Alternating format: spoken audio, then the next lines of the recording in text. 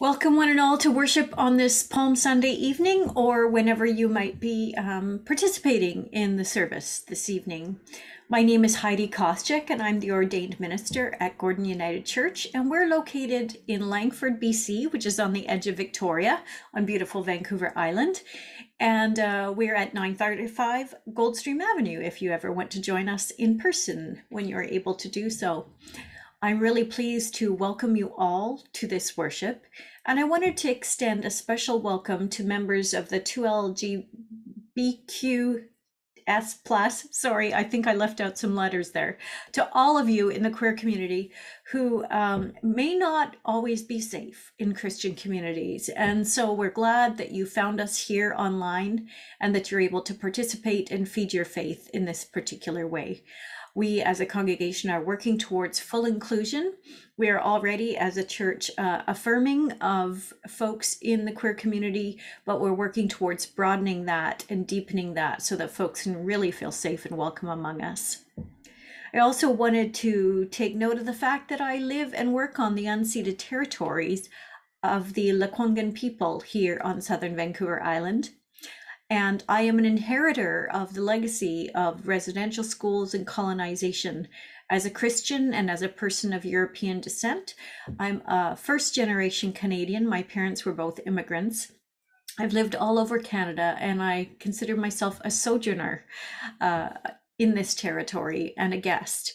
And I know that there is a shared history of pain and suffering uh, with the Indigenous people right across Canada, and that I have a responsibility to learn about that, to tell the story, and to work in concrete ways towards reconciliation. And I invite you to join in that journey with me.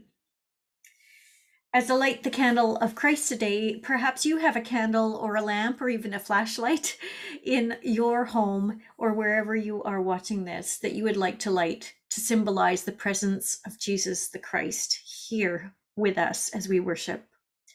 So, as I light the candle, let's just take a moment to breathe deeply of the spirit of life as we listen to music that celebrates the Creator.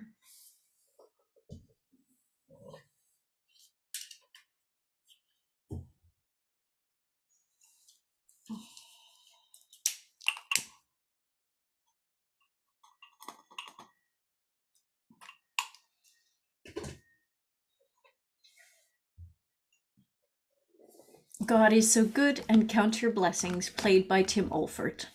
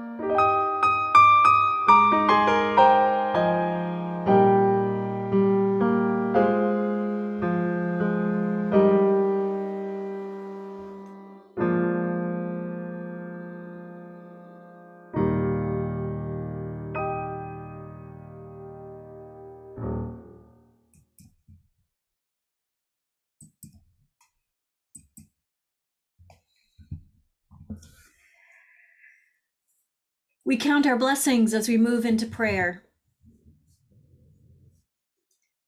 Father, Son, Spirit, as we mark this day when Jesus rode into Jerusalem, we sing your praises just as the crowd sang and shouted that day. We pray that we might never cease to give thanks for the gift of the Christ presence, for your teachings, your witness, your promise of abundant life as we walk through this day of celebration into a week of remembering the danger and the death that awaited you, Rabbi Jesus. We pray that we might never turn away from the suffering of others, that we might never see violence as in any way redemptive, that we might always turn toward the other with compassion and mercy, knowing that we are all flawed and fallible, and that we are all forgiven and blessed. Amen. I apologize for the light today. Um, I'm having to adjust the light a little bit in the place because the light is beautifully streaming in the window. And if I have the light coming in the window, then you get a glare on this side of my face. And if I shut the blinds, then you get more light on the other side of my face. So um, either way, it's not very good. But anyway, we continue. Um, I'm going to read you the account of Palm Sunday from the Gospel according to Mark. Mark tells Jesus' story in the shortest form. And so it's sometimes the one that I choose when I'm trying to keep the services to a reasonable length. But I'd encourage you to read the Palm Sunday story in the other Gospels Matthew, Luke, and John, and just see how it's told a little bit differently in each one. Jesus' triumphal entry into Jerusalem, Mark 11, 1 to 11. When Jesus and the disciples were approaching Jerusalem at Bethphage and Bethany, near the Mount of Olives, he sent two of his disciples and said to them, Go into the village ahead of you, and immediately as you enter it, enter it, you will find tied there a colt that has never been ridden. Untie it and bring it. If anyone says to you, Why are you doing this? Just say this The Lord needs it, and we'll send it back here immediately. So they went away and they found a colt tied near a door outside in the street. As they were untying it, some of the bystanders said to them, What are you doing, untying the colt? They told them what Jesus had said, and they allowed them to take it. Then they brought the colt to Jesus and threw their cloaks on it, and he sat on it. Many people spread their cloaks on the road, and others spread leafy branches that they had cut in the fields. Then those who went ahead and those who followed were shouting, Hosanna! Blessed is the one who comes in the name of the Lord. Blessed is the coming kingdom of our ancestor David. Hosanna in the highest. Then he entered Jerusalem and went into the temple. And when he had looked around at everything, as it was already late, he went out to Bethany with the twelve. We thank God for this reading from Holy Scripture. And we're going to sing a little bit of the story now by singing the hymn Hosanna, Loud Hosanna. And I thank you, uh, thank the congregation and choir of Ebenezer United Church for this recording.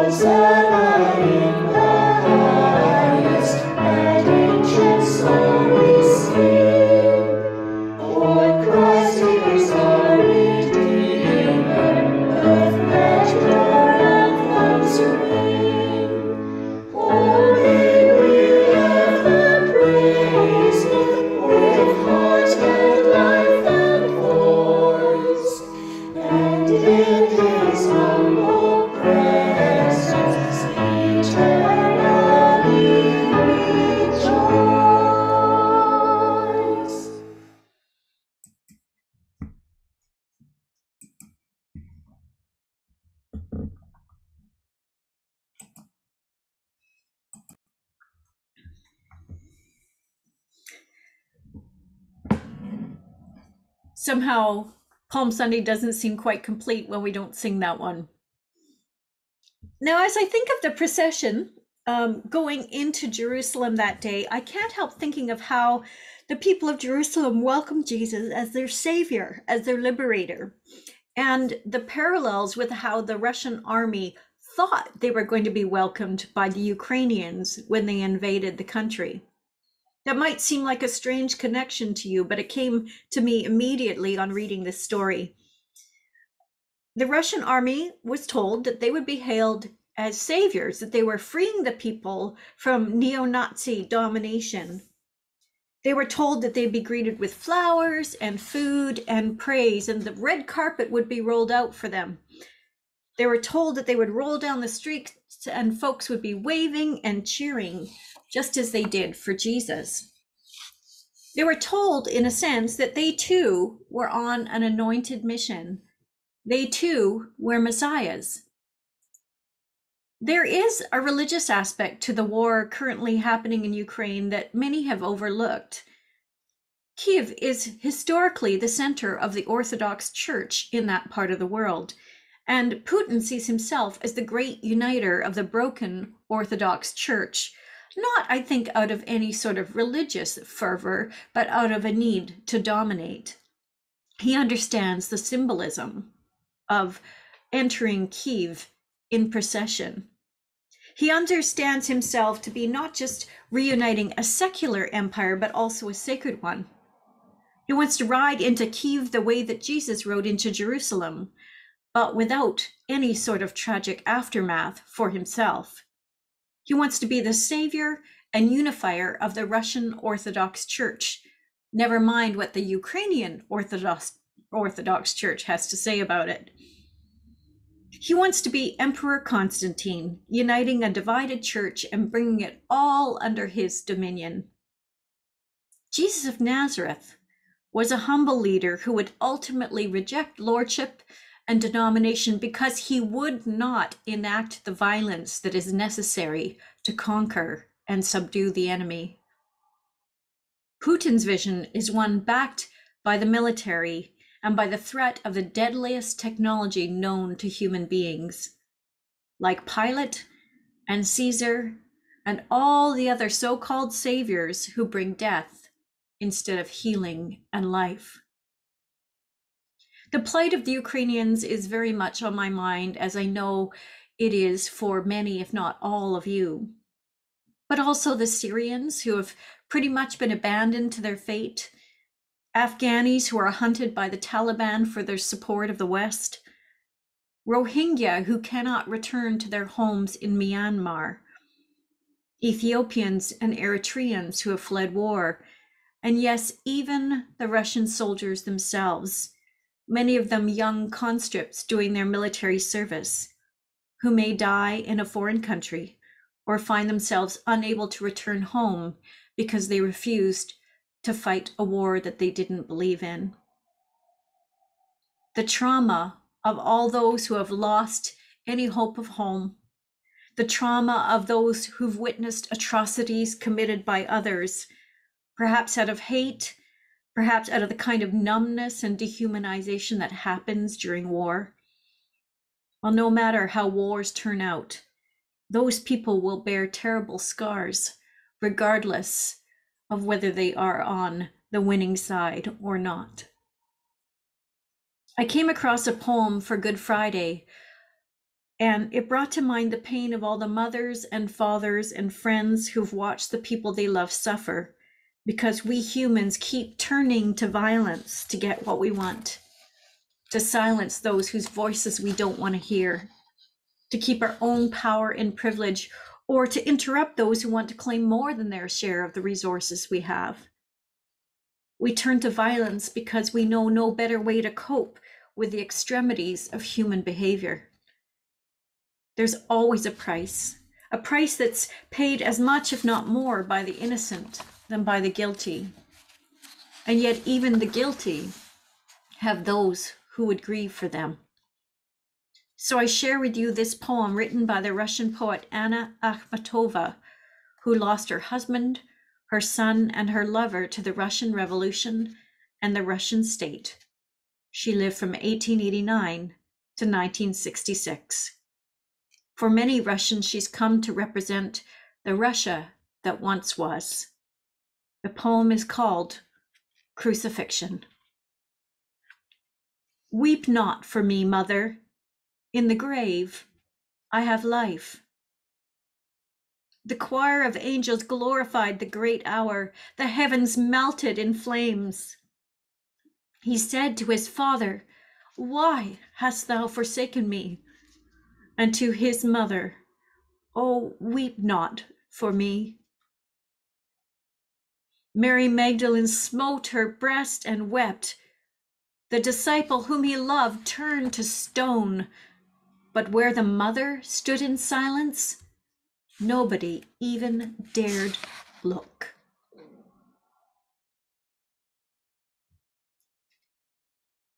Just as we observe the celebratory spirit of a Palm Sunday, we recognize that it's just one act in a more complex story. I know that many of us would much rather skip from here to the Easter Alleluias, but there's somewhere else we must journey before we reach Easter morning. We walk through controversies in the temple, plotting and planning between friends and enemies. We sit at a table sharing a blessed meal and discover that betrayal is right there at the table with us. We walk and rest in a garden with soldiers on their way we hear from a distance rumors of an illegal trial and stand in a crowd as people shout for our teacher's death. And finally, we stand helpless, stunned once more by the violence that exists in our world. We look, but not for long, lest our hearts be stricken by the sight of a mother weeping of the world we know bruised and broken, shattered into pieces like the body of Jesus on the cross. The world we live in is not so different from Jesus' world. Into violence and oppression, he brought healing and proclaimed liberty. Into religious rigidity and self protection, he brought a spirit of freedom and inclusion into a society where the wealthy had far too much and the poor had very little. He brought the call to generosity and to self giving. He lived for this, he died for this. And he holds out hope that the powers that oppose the ways that he taught and lived will not dominate forever. But that mm-hmm. is a story for another day. Ride on, ride on in majesty.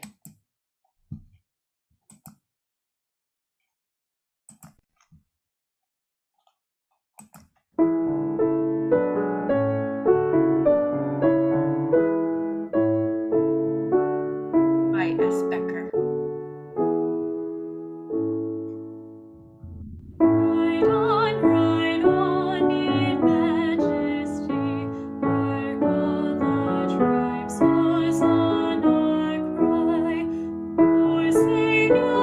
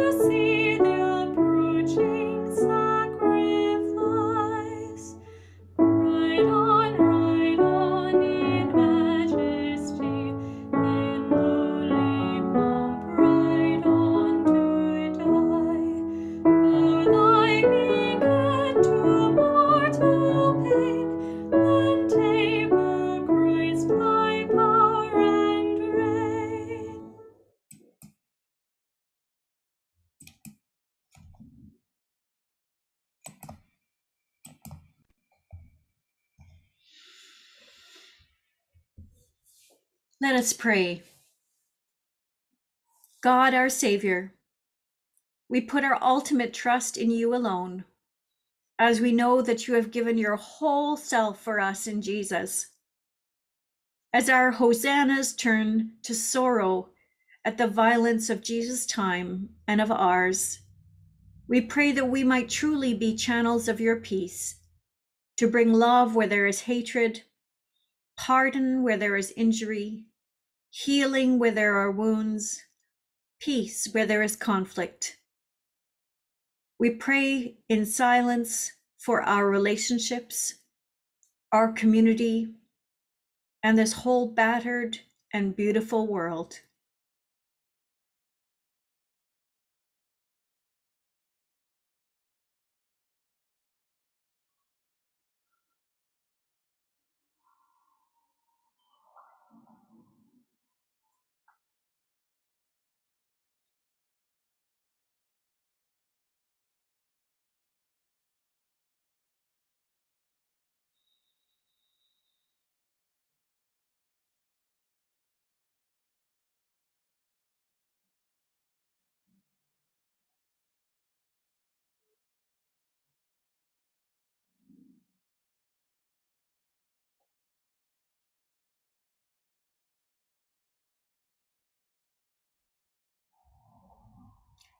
This day is the anniversary of the Battle of Vimy Ridge. We hold in our hearts that piece of our own Canadian history. And we pray for the memory of those who served and died, those who served and were wounded, those who served and survived, but bore inner scars, scars that continued to live in generations that came after. O oh God, we know all too well the price of war and the difficulty of building lasting peace. May your spirit move in all people to bring peace to our planet. We thank you for the moments we have of peace, beauty, and joy in the midst of the heavier parts of our life, and we thank you for the way they renew our hope. We know that we are a part of your intention for the universe, that we each have a part to play in creating a world where human beings no longer inflict suffering on one another, but instead live in harmony with all that is. We will continue to dream this dream with you for it is not impossible when your Spirit is at work with us and through us and beyond us, moving into the farthest edges of the universe and the deepest, most hidden places in the human heart. We commend our lives and our world to you now as we come to the end of another day. Bless our rest and strengthen us in your service, O God of all. Amen. So, friends, as we leave this time of worship, may the prayer of the children, which you'll soon hear, a prayer that we've been singing and dancing to in church on Sunday morning, be a prayer that carries with you into the coming week so that the world might indeed be blessed with peace. Amen.